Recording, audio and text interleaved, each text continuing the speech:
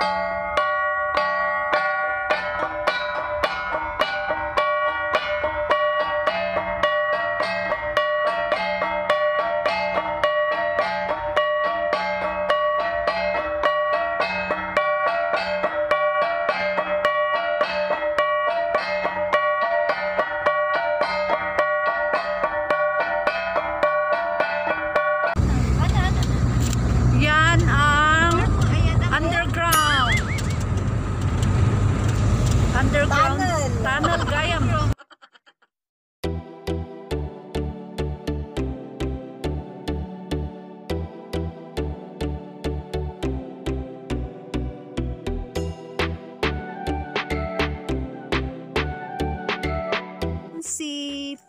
ang ulo ni President Marcos former.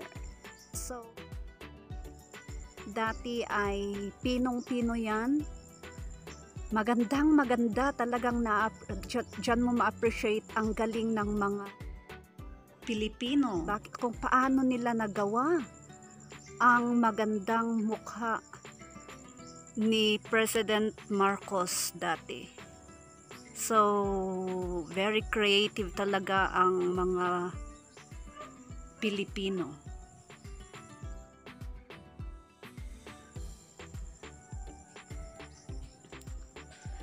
So ngayon, hindi na kasi makikita ngayon kasi talagang naabandonado na. Nasira na.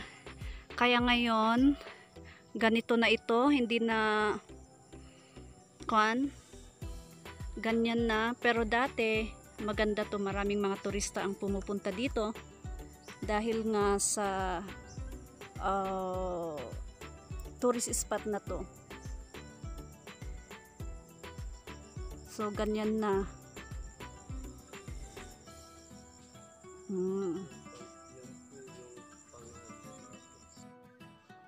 maraming haka-haka kung bakit ito'y pinasabog nila ayon sa iba ito'y dahil sa politika at ang iba naman ay sa ginto ni Yamashita.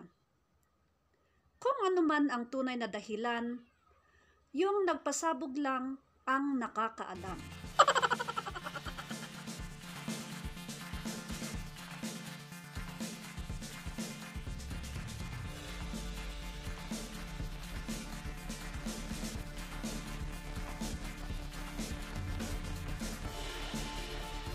Yan, pang, yan po yung pangan ni Marcos. Ito.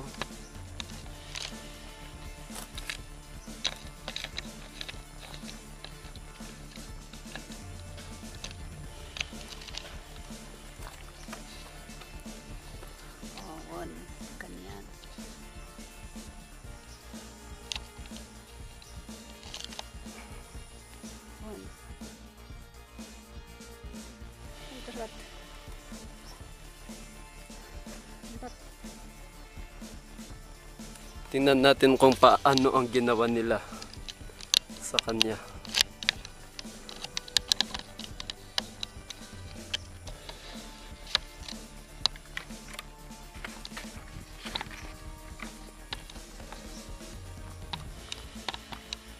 Putol na putol putol na oh. Kasi ang alam nila nasa loob daw ng mga beam na yan at ah, poste ang gold ni Yamashita kaya ganyan ang ginawa nila. According to my source. Grabe. Tingnan nyo kung anong ginawa oh. Oh. Pati, pati pala doon o binutasan sa may uh, sa baba ng lieg. Oh. May butas. Yun oh.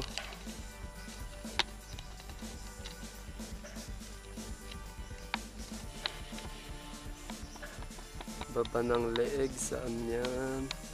Yun oh. Oo, yan, nabutasan yan kasi tinitignan nila kung may Yamashita treasure talaga. Iba talaga ang treasure hunter. Kung anong nasa isip nila, kung paano nila nalaman. yan.